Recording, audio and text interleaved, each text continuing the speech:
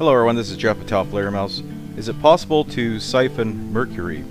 Now even though mercury is a very dense liquid metal, it should follow all the laws of gravity and hydrodynamics that are involved in siphoning almost any liquid. I couldn't find any videos showing mercury being siphoned, so let's see what it looks like. We'll put about 8 pounds of mercury in this glass. Very scientific glass, mind you. Uh, I wanted something real tall and with good um, transparency.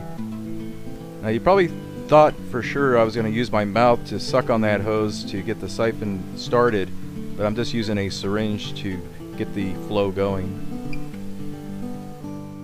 I couldn't keep the hose submerged in the dense mercury. It wanted to float, so I just used some tape to secure it.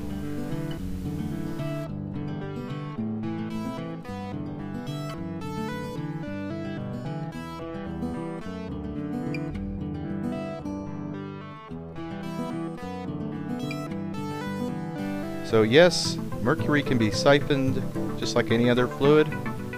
It's actually siphoned very well. It seemed to siphon faster than, say, water. Anyway, I hope you enjoyed this. Thanks for watching.